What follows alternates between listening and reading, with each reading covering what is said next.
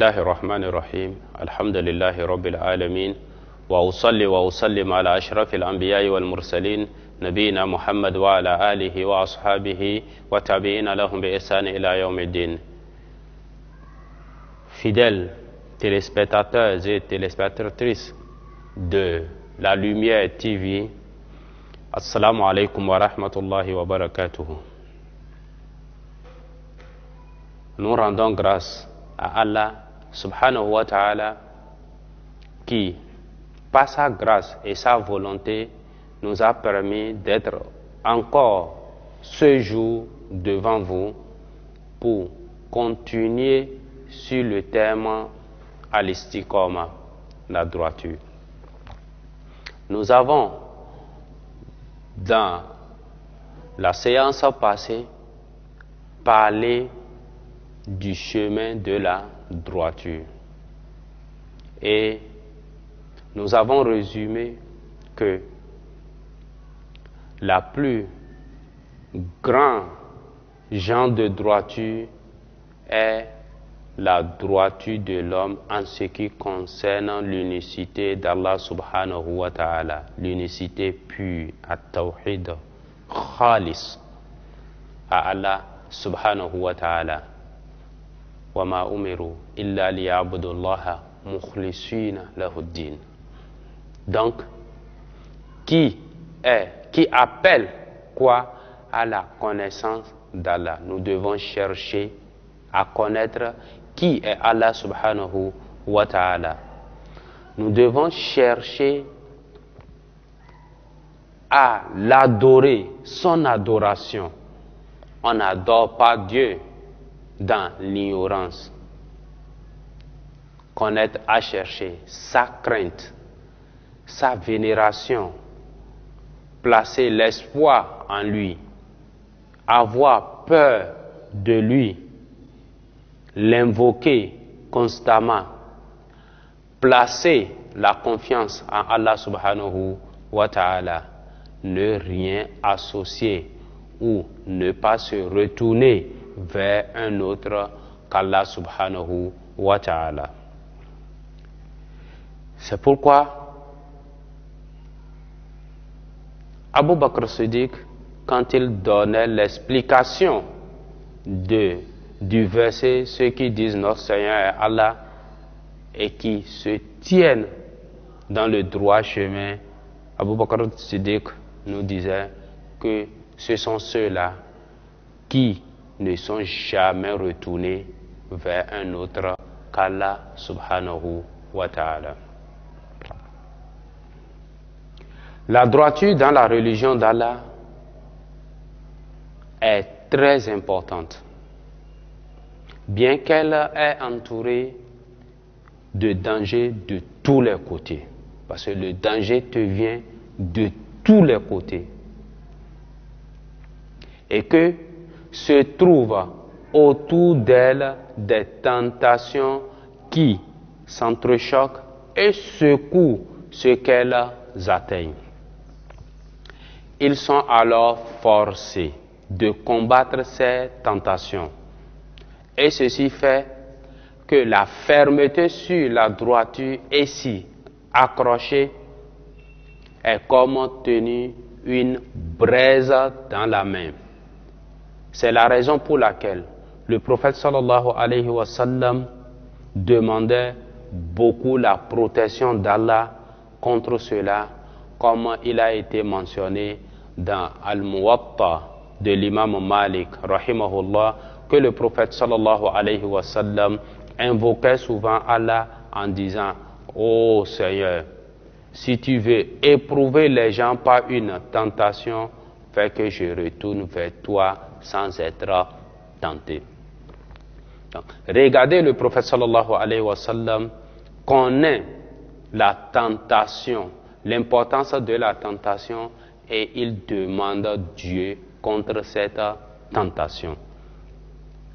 C'est pourquoi l'islam nous demande toujours de beaucoup implorer notre Seigneur subhanahu wa ta'ala qu'il affermisse nos pas sur cette religion. C'est pourquoi Dieu nous a imposé de demander cette guidance chaque fois dans nos prières. Le musulman doit dire cela au moins 17 fois par jour dans ses prières. Nous devons nous mettre en tête que c'est une invocation que nous faisons. Arriver là, avoir l'intention vraiment de demander cette guidance à Dieu. Car celui qui prie est comme celui qui est en train de parler avec son Seigneur subhanahu wa ta'ala. Donc nous devons avoir cette foi, être dans cette prière et implorer sincèrement Allah subhanahu wa ta'ala qui puisse nous guider. Les tentations de toutes sortes se succèdent sur l'homme, le touchent et produisent dans son cœur une certaine brèche et une certaine négligence. Et le musulman qui n'a pas été atteint directement par la flamme de cette tentation ne peut échapper à leur fumée. Mais Allah, subhanahu wa ta'ala, le sage, ne l'a pas laissé à la merci de cette tentation sans lui montrer le moyen de s'en protéger et lui donner la possibilité de réparer ou d'effacer les dégâts qu'elles lui ont causés. Il l'oriente dans de tels cas en l'orientant vers le pardon qui exige le repentir sincère et le retour à la droiture, afin que ce soit une consolation face à la vague envahissante et au vent violent de cette tentation. Allah subhanahu wa ta'ala nous dit dans le glorieux Coran, je ne suis qu'un homme comme vous. Kul dit, je ne suis qu'un homme comme vous. Il m'a été révélé que votre Dieu est un Dieu unique. Cherchez le droit chemin vers lui et implorez son pardon. Malheur aux associateurs. Donc, Dieu, dans ce verset, nous demande de chercher le droit chemin vers Allah et d'implorer Allah subhanahu wa ta'ala de demander son pardon constamment.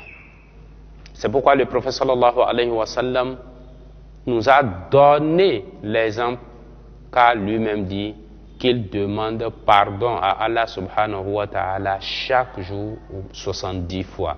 Dans une autre version de du hadith, on nous dit 100 fois. Donc, nous devons suivre Dieu et le prophète sallallahu alayhi wa sallam, suivre sa sunna en ce qu'il a fait et nous a montré. Dans ce contexte, le prophète sallallahu alayhi wa sallam dit à Muaz ibn Jabal, radiyallahu anhu, ittaqullaha haythama kunt crains Allah subhanahu wa ta'ala partout où tu te trouves, dans ta maison, dans ta chambre, dans ton bureau, en voyage, dans la mosquée, partout. C'est pas seulement dans la mosquée qu'on craint Dieu, non. Tu crains Dieu dans la mosquée et en dehors de la mosquée. Tu crains Dieu dans ta chambre où personne ne te voit subhanahu wa ta'ala. Tu crains Dieu dans ton service, dans ton bureau, quand tu es enfermé toi seul. Tu crains Dieu dans ton rapport avec les humains. Tu crains Dieu dans ton rapport avec les subalternes. Tu crains Dieu dans ton rapport avec tes supérieurs. Tu crains Dieu dans ton rapport avec tes amis d'affaires avec qui vous faites les affaires, dans ton commerce, dans ta recherche de la science, dans tes études, toi étudiant, tu ne triches pas, tu crains Dieu dans ce que tu fais, tu crains Dieu en, respectant les ordres que te donnent tes professeurs, tu crains Dieu en apprenant tes leçons, tu crains Dieu en faisant tes exercices, tu crains Dieu. En composant, tu ne triches pas. Partout où tu te trouves, tu dois craindre Dieu. Voici le message que euh, le prophète sallallahu alayhi wa sallam apprenait à Muaz ibn Jabal quand il lui dit Crains Allah partout où tu te trouves. Tu crains Dieu en respectant tes parents. Tu crains Dieu en leur faisant, en, être bon envers eux. Et le prophète sallallahu alayhi wa sallam lui, fait, lui dit encore, fais suivre la mauvaise action une bonne action.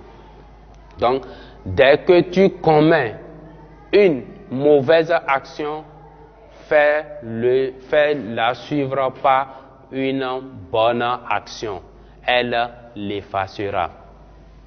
Et est un bon comportement dans tes relations avec les gens.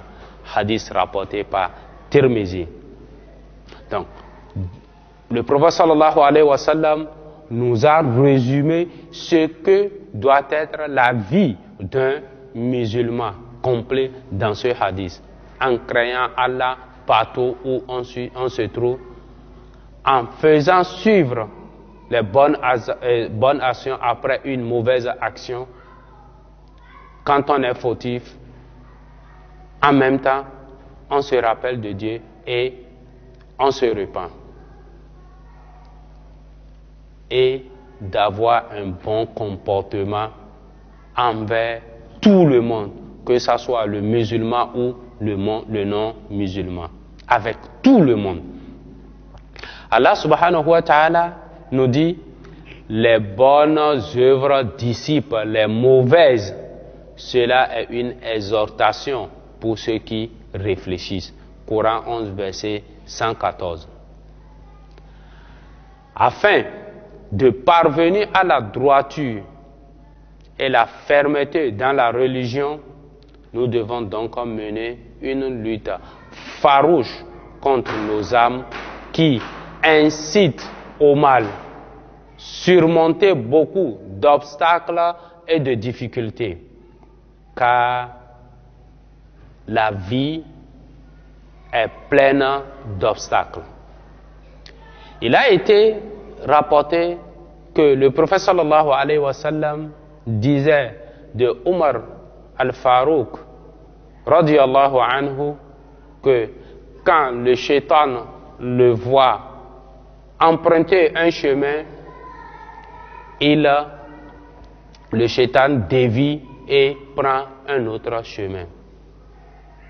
Pas parce que Omar radiallahu anhu a la force de combattre le shaitan, mais c'est la force de la foi. Car toutes les fois que l'âme incite Omar à faire une mauvaise action, il combat cette âme car c'est Shaitan qui est en train de lui révéler ces choses, il, ces mauvaises choses, et par sa foi, Omar radiallahu anhu fait toujours le contraire de ce que Shaitan demande à l'âme de Omar de faire. C'est pourquoi quand Shaitan voit Omar radiallahu anhu, il change de chemin. Il se dit qu'il n'a pas sa place avec celui-ci. C'est comme ça que le musulman doit être. Toutes les fois quand tu penses à une mauvaise chose, en même temps, tu essaies de faire le de poser le contraire de ce tact qui est important dans la vie. Car ça te permet de gagner des actions de bien auprès de ton Seigneur subhanahu wa ta'ala. Et le prophète alayhi wa sallam nous dit dans un autre hadith, celui qui commet un péché et va faire l'ablution et fait bien cette ablution et va prier deux unités de prière, deux raka et à l'issue de cela demande le pardon de Dieu, sauf que Dieu lui pardonne son péché là qu'il a commis. Donc, toutes les fois, les portes pour effacer nos péchés sont largement ouvertes et partout. Donc Dieu veut de nous quoi? Que nous nous rapprochions de lui à tout moment. C'est pourquoi, pour y parvenir, nous devons donc fournir un grand effort et mettre en application la recommandation du prophète sallallahu alayhi wa sallam qui nous dit soyez assidus à l'accomplissement des ordres d'Allah avec modération. Nous devons savoir que cette vie est une vie de tentation. On nous a créé, on va nous tenter, le shaitan est là pour avoir beaucoup de fidèles avec lui. C'est à nous d'être plus forts avec la force de la foi pour pouvoir combattre Shaitan. Car à l'esticoma, la droiture demande une lutte permanente contre le Shaitan pour pouvoir se maintenir. Ce monde que nous vivons aujourd'hui, qui est plein d'obstacles, partout où tu passes, il y a des tentations devant toi. Partout. Dans ton commerce, tu es tenté à aller vers le riba, puisque c'est des gains faciles. Dans la vie, tu es tenté à aller jouer de la, la loterie, parce que c'est des gains faciles. Dans la vie, le zina, c'est facile de le faire. Mais tout ceci sont des péchés graves, grands, qu'Allah subhanahu wa ta'ala l'a interdit. Boire de l'alcool, mentir, médire, tout ceci, c'est facile de le faire. Mais le plus grand, c'est de celui qui en sort grand est celui-là qui va essayer de surpasser son âme face à ces tentations. Nous allons nous arrêter ici et espérant vous retrouver ta'ala dans une autre émission si Dieu nous prête vie. Fassalamu alaikum wa rahmatullahi wa barakatuhu.